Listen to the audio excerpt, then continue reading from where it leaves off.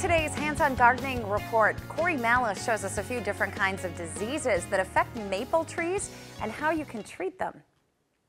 Well, in today's Hands-On Gardening, I'm joined by Steve Hunsinger from the UW Extension Office. And Steve, today we're going to talk about maple trees and in particular, some of the common diseases that affect maple trees. Now, most of these are cosmetic in nature, so you don't have to worry about them, but uh, a couple of them that are a little bit more serious. That's right, and let's start with those leaf diseases that a lot of times we notice, especially later in the season like we are now, and they're really not going to cause a lot of problem for that tree. We might have some anthracnose, we might talk about leaf spot or tar spot, or even some of the galls that we see here on some of the leaves are going to be on the uh, surface of the leaf, but not causing a lot of damage. And in most cases, they're on larger trees. We don't need a lot of treatment for those. They may have to clean up some leaf debris around the tree to kind of keep them from continuing on year to year. But for the most part, it's not economical to spray or to treat those trees. Sure, and the other thing that we worry about this time of the year is just environmental factors. Uh, it's been a little dry lately. You may notice some of your leaves beginning to change and drop on those maples. Yep, and that's a sign that we want to make sure that we're watering, putting some supplemental water out each week if we need to, if we get into those dry zones.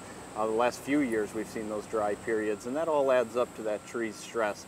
And the other thing is we may do some fertilizing late in the season just to help build some capacity to it, especially on a younger tree. Okay, now what are some of the more serious uh, diseases, diseases that you're going to need to have professional treatment There's for? really two that we're going to think about, Cory, and one's the root rots. Oftentimes we'll see some of the fungus start to grow either out of the roots themselves or on the side of the tree, on the stem or trunk of the tree. That's a sign that, that we have some rotting going on in that tree. And oftentimes you want to have that checked out immediately because it probably means it's not very solid inside. The other one is verticillium wilt, which has, ends up in the vascular tissue of the tree. Some signs are a lot of seed production the year prior, and then we see uh, some coloration very early in the season. We might see some wilting or drooping of those leaves, especially on one particular stem. Okay, and if you notice those things, you're probably better off having a professional come in and, and do a diagnosis. Yeah, you really want to talk to a certified arborist to really get you a, an analysis of that tree or send in a sample so that we can get a test to determine what exactly is going on with the tree. Already sounds good, Steve. That is today's Hands-On Gardening.